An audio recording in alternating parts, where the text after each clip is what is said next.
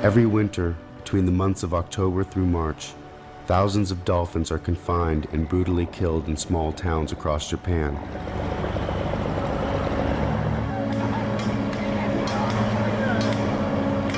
Sounding rods beneath the water's surface interfere with the dolphin sonar.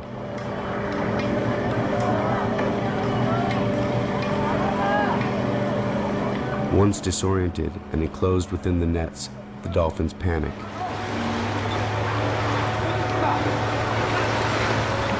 Fishermen often injure a few captive dolphins with a spear thrust or knife slash, since dolphins never abandon wounded family members. Mothers and babies call out in distress as they are separated, hoisted up and dragged off, soon to be mercilessly hacked to death.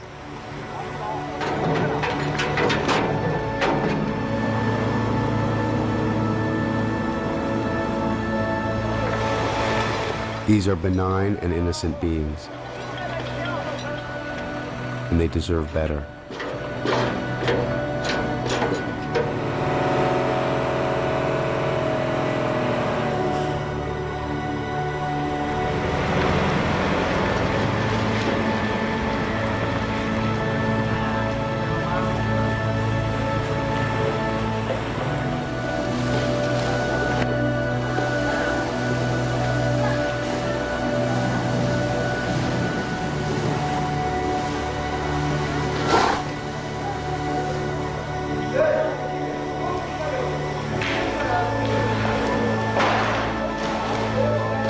Yet here, as they lay stricken and needful, writhing helplessly on cement floors, they are cut open with machetes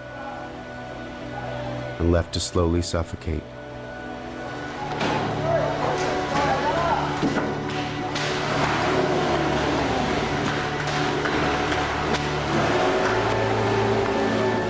Convulsing and contorting in the throes of agony, while school children walk on by.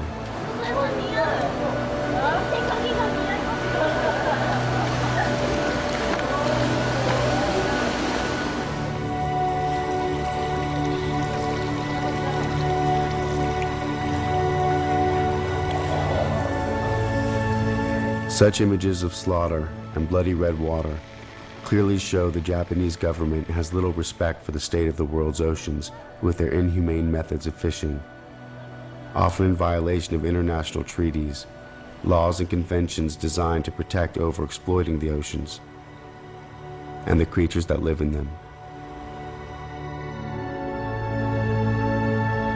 Dolphin meat is later sold in markets and restaurants, though often mislabeled as whale meat.